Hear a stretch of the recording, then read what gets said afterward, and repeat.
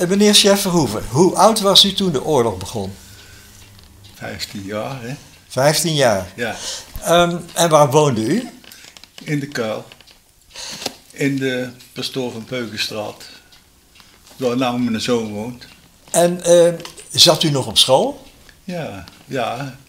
Ik was, ik was, ja. Vroeger gingen wij met ons vier jaar naar de school toe. Naar de kiepjes noemden ze dat. En ja, ik zat net op de school, op de eh, lagere school hier in de Hoogstraat. En eh, ja, toen is die een oorlog begonnen. En toen viel alles, was alles heel anders. Hoe, hoe heel anders? Nou, ik, ik zal het één voorbeeldje geven hoe dat eh, veranderde. Bij ons thuis zeiden ze dat die daar niks te maken hadden. hè? Want die kwamen alleen maar om zoveel mogelijk te halen. En ik hoorde daar met mijn jonge oortjes ook aan. En ik had zo'n hele mooie grote herdershond. En ik zeg, en toen kwam er zo die officieren door de straat lopen met zo'n sabeltje onder zij hangen, weet je wel, zo'n zo'n ridderorde geval. En ik zeg, ik zeg tegen de hond, vat ze. En eh, die hond die begint te grijzen, naar die twee. Los, dat is knallen. Zet je in, die pakte zijn revolver, hè, dus ik ken het de eerste dag al hoe dat moest, hè. Mondje dicht. Ja. Ja, dat zijn mijn eerste herinneringen. Ja, ja. Maar de oorlog begint op 10, 10 mei, hè? Ja. Eh, vroeg in de ochtend. Ja. Wat merkte u daarvan? Eh, dat was, ja, daar werd gewoon, ik weet niet, er kwamen in ene keer soldaten in de straat, weet je wel. En het was zo, die hadden al mot met elkaar, de Duitsers en de Fransen. En die, die Fransen die kwamen vanaf de andere kant binnen. En er was een treffen hier in Brabant Ja. van die twee. En dat verliep allemaal niet zo mooi. Maar ja, dan ben een manneke van. En dan hebben, hebben ze bekend een hond kapot geschoten. Dan loopt er niet meer voorop. Hè. Dus dat kende ik achter elkaar hoe dat moest, hè, mondje dicht. Ja. Maar het was zo. eh, toen de oorlog goed aan de gang was, toen moest heel Nederland ofwel eh, putjes graven langs de Bossenweg. Was die, als het luchtalarm was, die, kropen die Duitsers dan in. Weet je wel. En, die, eh, en, en als dan. Hoe was het nou ook alweer? Ze kropen in die putjes als het uh, luchtalarm Ja, was. daar waren die putjes allemaal voor gegraven langs de bosweg. En toen stonden wij met, want wij gingen altijd met een paar vrienden mee om waar. En toen hadden we het over die putjes gehad en toen zeiden we nog, uh, kruip er nooit naar in. Maar toen kwam er zo zo'n jager overheen en die begon te schieten. En toen was ik al gesneuveld voordat ik thuis was. Want wij zaten in die, in die putjes en toen sneuvelde een jongen van Boer Verhoeven. En die woonde daar in Kerkhoven daarachter. En dat, ken, dat, dat, dat jong dat is toen gesneuveld, hebben ze toen doodgeschoten. Ja, dingen. En toen was de, de, al, dat ik al gesneuveld was. Dus dat viel mee. Oh, ze dachten dat, uh, Dat, dat ik u, het eh, was. Maar dat was een naamgenootje die in Kerkhoven van een boer, boer Verhoeven woonde dat toen. Ja. Toen de oorlog eenmaal op gang kwam, hè, de, de Duitsers hier onder Ja. andere ook Oosterwijk bezetten. Wat Ja. veranderde er toen aan het leven hier? Of ging het een beetje gewoon door op de normale manier zoals vroeger? Nou, dat was zo mooi. Wij waren deugenieten. Wil je gerust weten, we waren goed gezond. En eh, toen zaten ze bij de oude kerk, daar had het zo'n beeld staan. Pater Potters zit daar op zijn strool, op zijn, eh, De oude kerk is de Peterskerk. ja, daar. Maar er, zit, er staat zo'n standbeeld bij met een pater op zijn... En toen zaten die Duitsers, die hadden daar in zo'n gebouwtje, was dan het hoofdkwartier. Maar aangezien die later, zaten ze de stoelen hadden ze in het park gezet bij Pater Potters. En toen waren wij van, nee, een man of drie, waren we wel bekwaam.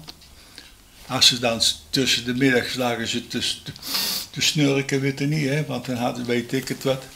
Toen hadden we de koffiepot hadden we leeg gegoten en dan waren we drie van die, drie van die mannetjes zo, hadden we er eventjes in geleuterd. Dus we hadden en een pot zeikdoor op de pot, op de tafel bij die Duitsers gezet. Hè. En hoe is dat afgelopen? ja, er zijn, er zijn verschillende uitleg aan te geven. Maar je, was, je was, er niet bij toen ze aan de Wij koffie... zijn er niet bij blijven staan. Nee. In ieder geval, ze leven nog, denk. Of ze ze zijn gesneuveld. Ja, je zal er wel niet dood van gaan. Ja. Maar u zegt dat ze daar een of ander hoofdkwartier hadden op het uh, ja? Ja, het, verenigingsgebouw was dat. Noemden ze dat. Het, het, het, het, het, het, het zoltje. Ja, daar hadden... Als je vlak voor de kerkstraat bij wijze van spreken hadden rechts hadden daar... Hoe is dat nou tegenwoordig? Tegenwoordig ligt het kerkhof daar. Daar, daar stond zo'n zo'n verenigingsgebouwtje. Ja, ja. En daar werden de vergaderingsjes in gehouden. En, en, maar, en daar zaten die Duitsers En daar, daar zat, als je moest stemmen, dan moest je daar stemmen uitbrengen en zo. Dat ja, ja. was net zoiets als ja, iets van de gemeente. Ja. Maar, uh, uh, ondervond u veel persoonlijke ongemakken? Hier? Ja, als, als 15-jarige? Nee, ik had helemaal geen, geen ongemakken. Want we hadden met, met drieën altijd bij elkaar. En dat was Pijnappeltje. Die woonde daar, eh, daar nou eh, zo'n zo'n leraar woont van, van, van de school. Die woont in het Hoekske. Mm -hmm. En eh, Jan Vroeven. Die woonde in de Hertog Hendriklaan. Dus dat is een eindje verder. Maar wij waren alle drie van dezelfde leeftijd. We hadden alle die bij elkaar in de klas gezeten. En wij hadden allemaal van die rotstreken. Ja, maar jullie waren een hechte vriendenkring. Wij, dat was een vriendenkring, maar die Duitsers die kwamen hier niks als de zaak stilletjes weghalen allemaal. Hè. Daar hoorden wij thuis. Ja. Je moest opletten of, uh, ja, het, uh, het was heel gek, maar wij woonden daar mee als snotneuzen eventjes tegen protesteren. Weet je niet? Dus zo kwamen die gekkigheid allemaal tevoorschijn. Hè? Ja. Vonden, jullie, vonden jullie dit spannend? Waren jullie bang? Niks. Ik was geen duvel lang. Geen even drieën. En maar, maar, mooi. maar jullie liepen toch wel een beetje gevaar, hè? Want, Ja, maar dat zei we niet. nee. Maar hebben jullie ouders nooit verteld, doe eens een beetje kalm aan? Nou, bij ons thuis hadden ze racht. Dus, en ik was de jongste. En ze waren al blij dat ik netjes in het padje liep. Ja, en de andere jongens die waren al, en er zaten een stuk of drie meiden, vier meiden tussen. Ja, dan, dan ben je eigenlijk een benjaminnetje in thuis in. En als je dan in hun ogen netjes oppast, dan is het goed, hè. Ja, maar uh, die, ze zullen En- het wel gevonden als, als ze het niet zagen, dan waren we wel eens een beetje stout ook. Ja, ja. Maar, ze hadden dus niet in de gaten dat jullie eh, vrij gevaarlijke dingen uithaalden. Nee, maar wel aan de, bij de nonnen aan de appeltjes zitten. Nee, maar ik bedoel ten opzichte van de Duitsers. Nou, Dat, dat, dat verhaal wij- van ik die had koffiepot. toen de eerste keer al meters aan tussen de, de straat liepen met dat prachtig sabeltje langs de dingen. Hadden- Dat was zo'n eretekentje, weet je wel, dat ze, weet ik waar waren. Maar ik, ik had zo'n mooie grote hond. Ik zei, vatsen. Ja, ja. Ja, dat vertelde u aan het begin al, hè? Ja, maar dat zit erin. Ja, ja, ja. En dat waren mijn eerste kennismakingen. Maar naar de rand heb ik het toch heel rustig gedaan, maar niet dat wij bang waren, want toen ben ik, eh, wij waren met drie kameraden, altijd bij elkaar. Ja, ja, ja. Even oud, ja. op school al geweest. Ja, ja. En waar ze gebleven zijn, één is naar Zuid-Afrika geëmigreerd. Was na de oorlog was er een emigratiegolf. Die wouden allemaal weg hier. Waarom, dat weet ik niet, maar ik had, ik had hier goed naar mijn zin. Maar een andere is naar Zuid-Afrika gegaan en, en Jan Verhoeven is naar Nieuw-Guinea gegaan. En daar heb ik nooit niks meer van gehoord. Nee, U hebt ook niet meer geprobeerd om nog contact met ze te krijgen. nee, nee. nee. Ik had contacten genoeg, maar toch wel, want eh, weet je wat het is? Ik was, een, ik was eigenlijk te oud om, anders had ik naar Duitsland gemoeten. Eh, werden allemaal uitge... Je moest daar gaan werken in die munitiefabrieken. Maar daar was u te jong voor. Nee, ik was net goed zat, maar ik had een heel jong gezichtje. Heb ik nog, hè, Trus? Ja. ja.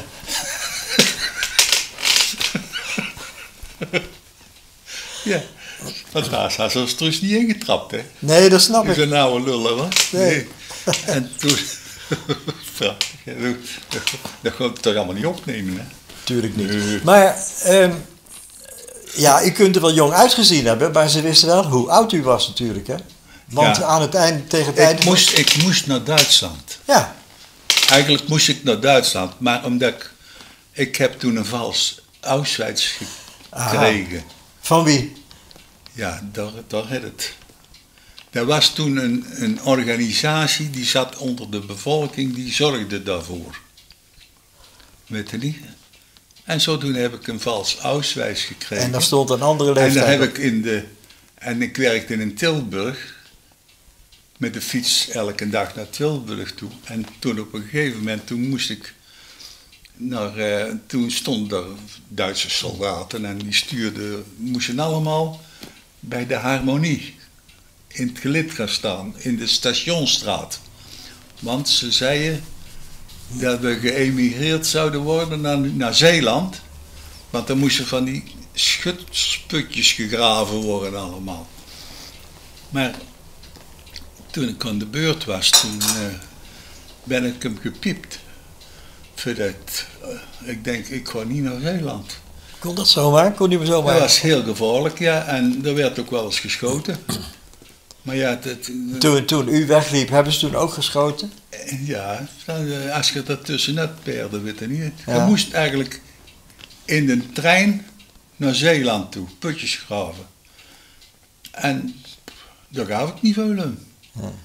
En toen zijn we er met verschillende meer, want we stikten de kopjes een beetje bij elkaar. En dan, als, dan hadden al, we hebben toen een strijdplan ontwikkeld. Gij gaat die kant uit en gij die. Dus we, we één keer op hetzelfde moment mee, mee alle richtingen uit. En dan wisten die Duitsers niet. Wie zagen nou moesten lopen, weet je niet. En zodoende ben ik er langs gelukt. Maar zijn ze toen naderhand niet eh, naar uw huis toegekomen om u alsnog op te halen? Ja, maar ik was nooit thuis. Daar was ik niet thuis. Daar werd, daar was de buurt die was compleet allemaal ingelicht hoe dat het zat. Heel maar hebben ze, toen niet, eh, hebben ze toen niet geen represailles genomen? Ja, maar weet wat het is? Er viel niet veel represailles te maken, want wat, wat moesten ze doen? Ze hadden alle mensen nodig. Het ging erover uit om ons nog ergens te pakken. En ik kreeg van de ondergrondse, noemden ze dat. Weet je niet, daar was ik niet bij. Maar die zorgde voor eh, valse auswijzen. Voor, eh, weet je wel, dat ik jonger was. Omdat ik een, ik een jong kopje.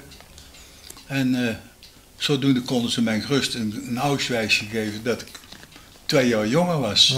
Hoe, hoe raakte u in contact met die verzetsmensen? Dat was, dat was heel gek. Die mensen die, die kenden wij allemaal. Die erbij waren. Ze hebben zelfs gevraagd of dat ik er ook bij wil komen. Bij die club. En wat was uw antwoord? Dat, ik- zeg, daar geef ik niet zoveel om. Ik zeg, daar, ik Waarom wil niet geregistreerd staan. Waarom? Niet? mijn kameraden, wel. Ja. Want die wouden mij ook overhalen. En toen hebben we nog... Maar ik hielp wel mee als er ergens iets te doen was. Maar ik wou niet geen registratie hebben. Dat heb ik nooit gewild. En waarom was dat? Toen hebben we nog eens een keer... eh, ja... Ik kijk er altijd nog naar ik langskomt. Hebben we een trein laten ontsporen. Met drie. Ja, maar eh, ja, oké, daar hebben we het zo over. Maar eh, waarom wilde u niet officieel bij het verzet gaan? Nee, nee, dat, dat, wat dat, ja, het laat hier ook wel eens een beetje in de, in de steek. Ik weet niet, maar dat, dat officiële gedoe, dat geregistreerde, daar, daar hield ik niet zo Ja. van. U had het net over een Ik trein. ben een individualist, Individualist. Ja, ja. U had het net over de trein die u hebt laten ontsporen. Ja, ja. Vertel eens. Nou, dat was zo. Hier kwamen. Hier was een munitie. op perron werden treinen geladen en gelost met munitie. Mhm. En dat wisten wij, want in de bossen daar hadden een compleet hadden kazematten liggen met munitie. En van ging het van daaruit hier naar het terrein toe. Als die, moest, die munitie die moest dan naar het front toe. En daar wouden wij wel eens een keer demo, eh, eventjes een stokje tussen steken, weet je wel. En toen zijn we ook daar... eh, we waren nieuwsgierig hoe dat er in de bossen ook zat. Mhm. En die kazematten. Toen zijn we in die kazematten gegaan. En daar hebben we toen ook voor de verzetsbeweging hier, hebben we van die kistjes meegenomen. En dan moesten we daarbij... Maar hoe konden jullie daar in godsnaam bij komen? Werd het bij- niet bewaard? Bij Hommel met de baard, daar hebben wij ooit ge- gezien dat daar een Duitsers, want die stonden daar wel op wacht, op heel het terrein van. Maar die gingen geren naar de vrouwkes, denk ik. En dan hadden wij gedacht, gezien, en net zo lang gewacht, totdat we die kerels zagen uit de trein lagen komen naar de vrouwkes toe. En waar dat ze liepen, en dat hadden wij een beetje gemerkt. Dus waar die eruit kwamen, Waar zaten die vrouwkes? ja weet ik in het dorp. In het dorp. Ja, ja. En, en toen hebben we, dat, hebben we dat padje goed in En dan gingen zullen eruit. En wij gingen er binnen. En we hadden daar van die kisten munitie weg. En jullie wisten ook hoe lang die Duitsers weg zouden blijven. Ja, die, die zagen we gewoon. Ja, Die gingen naar de vrouwtjes. Dat was veel, als op die, op die. Op die ja, ja kuilen dat daar zou ik ook gevonden hebben. Ehm, Prachtig. maar die trein, hè? Dat blijft de tijd. De, de- ja, die trein, hè? Waar u het net over had. Hoe, hoe ging dat? Nou, wij zagen hier allemaal die treinen rijden. En ook, de, dat heb ik net verteld, dat er hier in wagons geladen werd. Die munitie en weet ik allemaal. En toen redeneerden wij als snotneuzen onder elkaar, want daar waren we wel. We waren echt snotneuzen. God, als we toch, toch eens een stokje verstaken, dan hebben we de oorlog bekend gewonnen. Zo van daar, hè. Zoals je jeugd onder elkaar. Hè? Ja, hoe zullen we dat doen? Toen hebben we met drieën, ik heb ze net de naam, maar ja, ze, de ene is nog naar Zuid-Amerika, Zuid-Afrika gegaan, nog, eh, geëmigreerd. En toen trok heel de jeugd weg Ja, ja. hier. Maar met z'n drieën hebben jullie... Ik ga een goede huishouden thuis. Ik ga een goede zin. Ja, ja. Prachtig. Maar de trein. En de trein, hoe ging het daar En verder? toen, toen hebben we onder, overlegd hoe dat we dat eventjes zouden proberen te Met doen. z'n drieën? Met drieën. En aangezien ik in de techniek zat, had ik het gereedschap. Want die andere twee, dat waren timmerlui. Die werkten allebei bij Nulke van den Berg. Eh, daar bij de, de Rijkelstraat. Ja. Hein van den Berg is er nog een zoon van. Maar daar in ieder geval. Waar was ik nou? Nou, Oh, en toen ben ik, toen waren we met drieën. En toen hadden we het plan opgevat. Um, in, in zo'n munitietrein, dan zagen wij dat die hier steeds geladen werd, weet je niet. ja. Och, we zullen er een laten uit, uit de lijn laten lopen. Dat is de ene keer gedaan. Met front. Weet je niet, want dan krijgen ze geen, geen munitie Ja. meer. Hoe hebben jullie, op wat voor tijd van de dag of de nacht hebben jullie dat gedaan? Nou, toen hebben wij daar gewoon gekeken hoe dat die treinen zo. Want er was wel, je mocht niet buiten komen eigenlijk, nou zekere tijd niet, Ja. s'avonds, maar we waren niet zo. En daar was, hadden we ontdekt dat er een heel dooi stuk spoorlijn is. Waar? Daar net voorbij het Haars kasteel. Ja. Daar, daar, voordat je weer op de straat bij de lijn, maar vroeger was dat geen straat, dat was maar een fietspadje. En toen hebben we gedacht, weet je wel, we gaan daar zitten En we wachten totdat er een trein weg is. Dan hebben we genoeg tijd om dat te doen. En gereedschap, daar had ik uit Tilburg meegebracht. Goeie groot gereedschap. Wat hebben jullie toen gedaan? Hebben jullie aan de rails geknoeid? Toen hebben we die moer van die rails afgedraaid, weet je niet, zo'n plaat eraf gezet. En die hebben we er klem zo tussen gezet. Dus als die trein kwam, die, die ontspoorde zijn eigen. En jullie waren erbij toen de trein aankwam.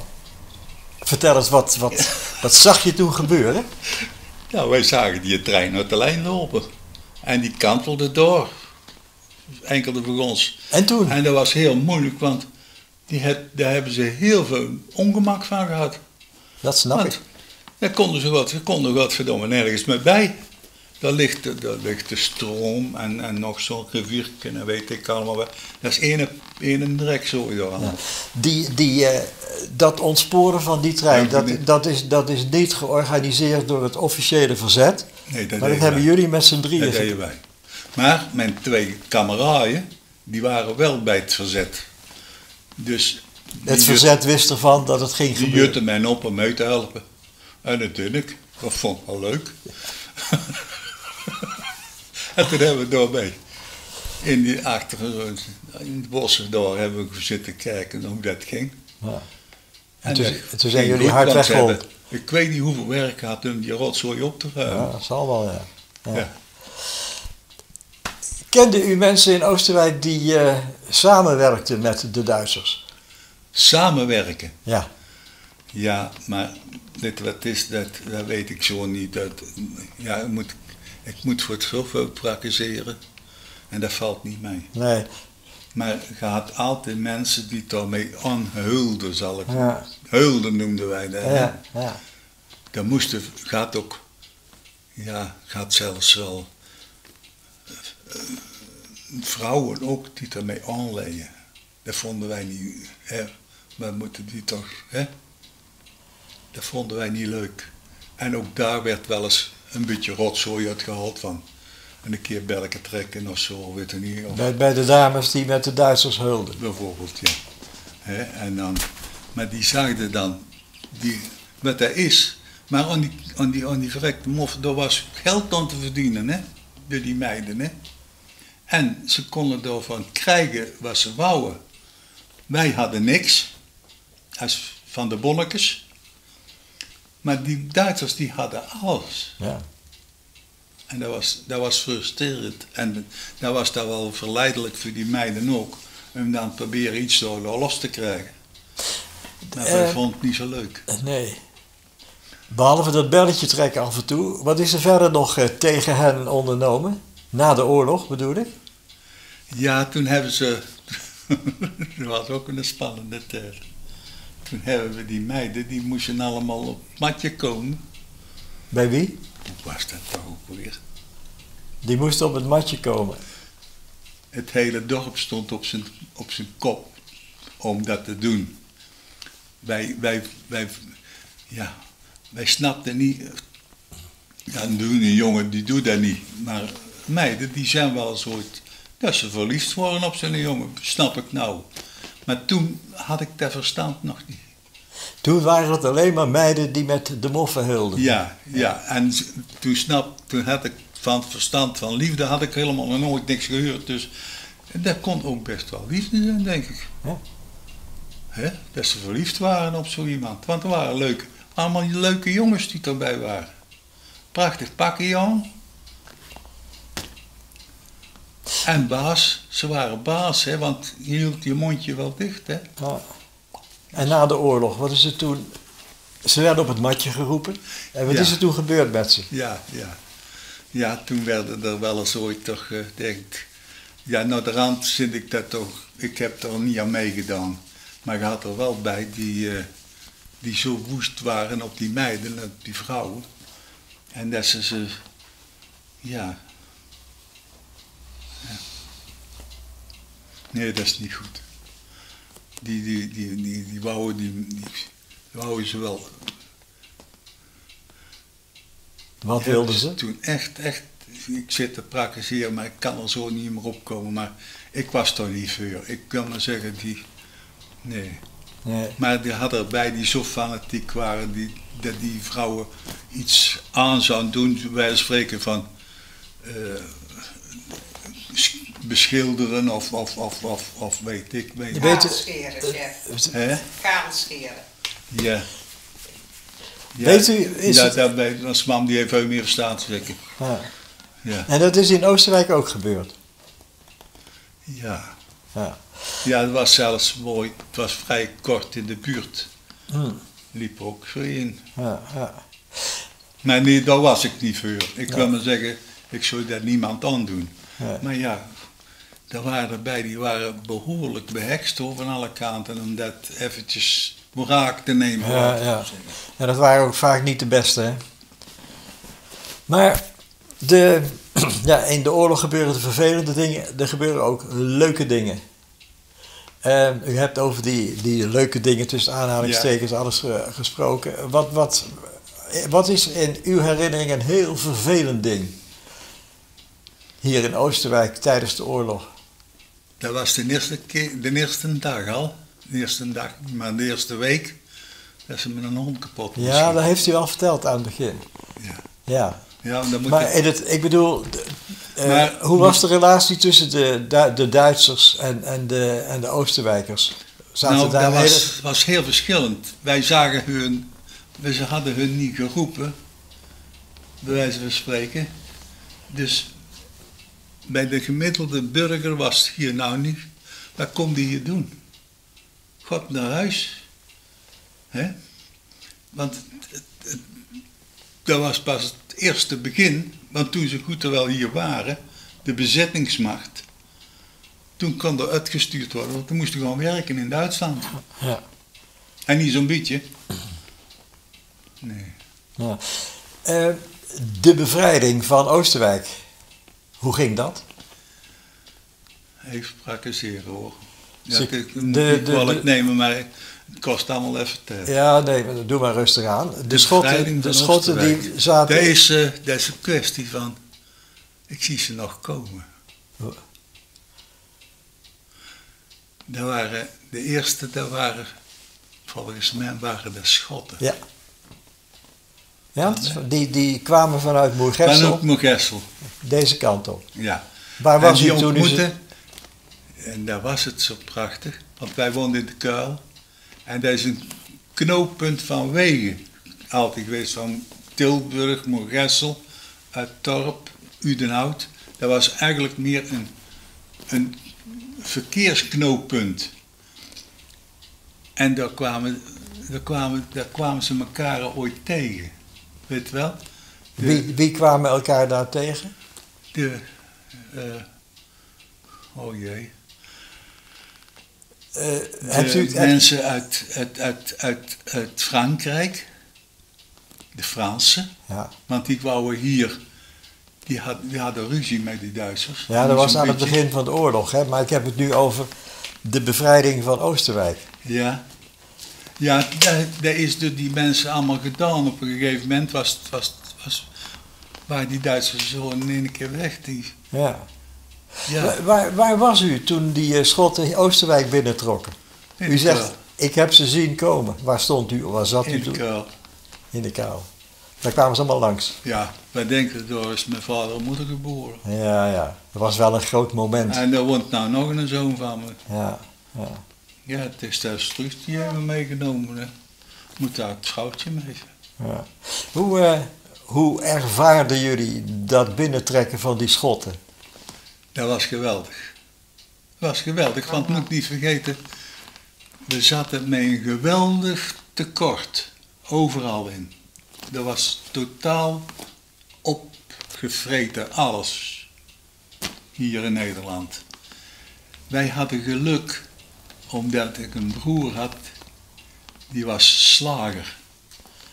Bij de boeren thuis, die was een huisslager. En die ging zo, en die zat in de richting Udenhout, Biezenmortel, Helvoort nog, tot een Duit toe. Zo heel dat gebied, dat bestreek die, daar ging hij huisslachtingen doen. En wij hadden ook een varken in het zwart. En die brak heel de kooi af, dus die moest ook geslacht worden. Maar dan had door de hele familie en heel de buurt die at mee. Ja. Want er was anders niks. Distributie was er wel, hè? Je kreeg je, je bonnen waar je dingen... Het was, het was een geweldige buurtschap onder elkaar. Wij allemaal één tegen één. Ja. Tegen allen. Ja. Ja. Waar, waar, waren die, die bonnen die jullie kregen voor suiker en brood en melk en weet ik allemaal, waren Ja. die toereikend? Die waren eigenlijk niet toerekend, maar ik zeg al, wij hadden een broer. Ik had een broer die was slager, Ja, ja, ja. dus aan vlees was geen gebrek. En dat vlees kon weer geruild worden, denk En ik. dat vlees, dat, hij, had een boer altijd, wij hadden zelf een zwart zwarke stoom, weet je niet. Ja, Dus ja, ja. nou, dat, dat, dat slachtte hij dan en dan nam hij, dat deelde hij weer. Een hele commune was dat. Ja, ja, ja. En zo ging het met brood ieder. Want ik moest dan van mijn, die, er zat een, een molenaar en die moest dan graan malen. Maar die hield op, toch wel een paar zakken achter. Dat niemand van de regering wist. Hè? Ja. En dan moest ik daar naartoe, als jongen van 14, 15 jaar, moest ik daar bij die bakker, bij die molenaar, in zo'n grote, zo'n groot gat, brood gaan staan te maken, weet je niet? Met van die kleine handjes. Ja, ja, ja. En dan kregen we er ook een van. Maar dan moest ik verhilde, verhilde die had je ook, ik geloof tien of twaalf kinderen, dat weet ik niet, maar een veel koppen zitten die. ja, ja. Heeft er hier nog een in de, ooit in de Kerkstraat gewoond. Hmm. Ehm, de, de, om nog even terug te komen op de bevrijding van Oosterwijk. Hè? Heb, Ja. Er was nogal wat geweld. Hè? Er is hier eigenlijk best nog stevig gevochten. Hè? Er werd nog stevig gevochten, tussen de Duitsers en de Schotten. Jawel. Hebt u, hebt u daar veel van gemerkt? Nou, niks als het geratel van, want ik was met een snotneus, hè.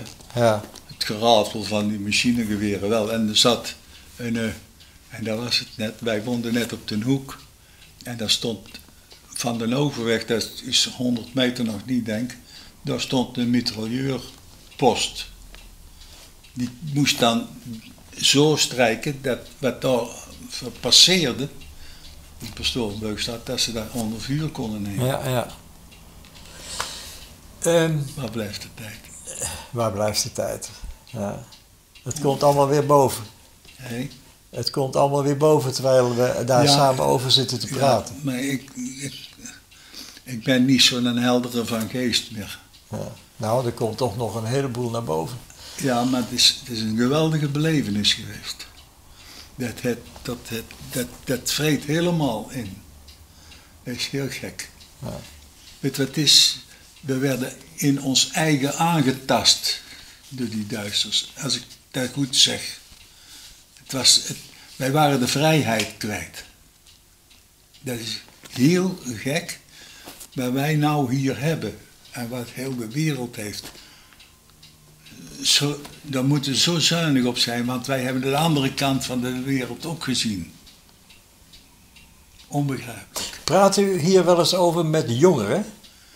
Nee, nee. Nee. Nee, weet wat het is? Wij wonen nou in een prachtige wereld. We kunnen gaan en staan waar ze willen, over heel de wereld. Reizen, overal naartoe. Vroeger hadden we niks als een paar grote schoenen aan, of klompen. En een fiets als je rijk waard.